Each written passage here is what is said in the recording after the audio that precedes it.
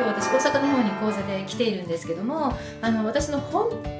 当に大好きで最も信頼しているあるお友達が清美さんにもうぜひ会っていただきたいっていう方がいらっしゃると。でその方が実は栄養の管理栄養士さんをされてらっしゃるという方だったんですね。それで実際その方がですねあの来てくださって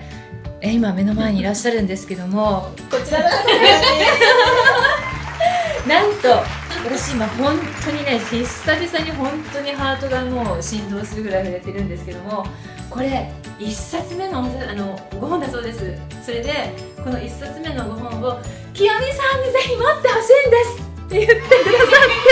ちょっと泣きそうなんですけれどもしっかりと読ませていただいて感想を書かせていただき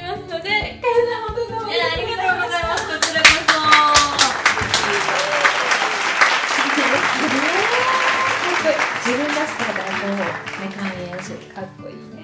やりがいも収入も諦めないともうこれほんと自立を目指す自分の好きな仕事をしていきたい方にはおすすめの一冊。